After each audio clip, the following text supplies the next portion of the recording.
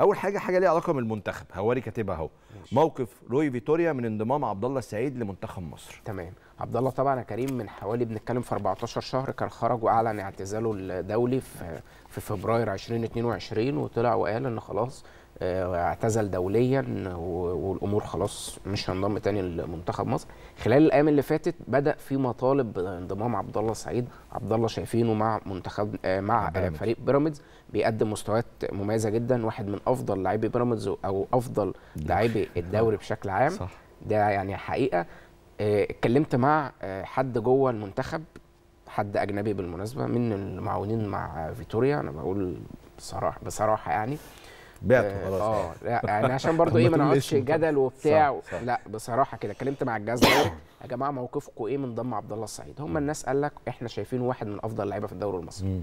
ومن أول ما جينا ومسكنا منتخب مصر وإحنا حاطين عينينا عليه ومتابعينه ولعيب كويس جدا. بس عندنا معاه مشكلة واحدة إنه 38 سنة. صح. فهو مشكلة هو فيتوريا الجيل بتاع فيتوريا دوت هو بي- بيحضروا ل 2026 بالظبط. هم شايفين إن هم لو بنوا خطة المنتخب والجيل على عبد الله السعيد وطريقة اللعب على عبد الله السعيد يبقى هم مش هيطوروا فهم المشكلة الوحيدة اللي قال لك انما هي مواجه- مواجهتنا مع عبد الله السعيد هي عامل السن. غير كده إحنا شايفينه لعيب بس. عارف أنا لو مكانهم؟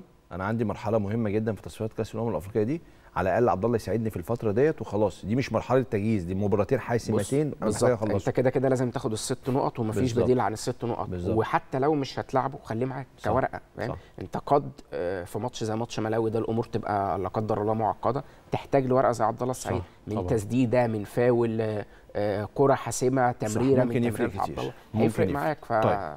هنشوف المعسكر الجاي يعني الأمور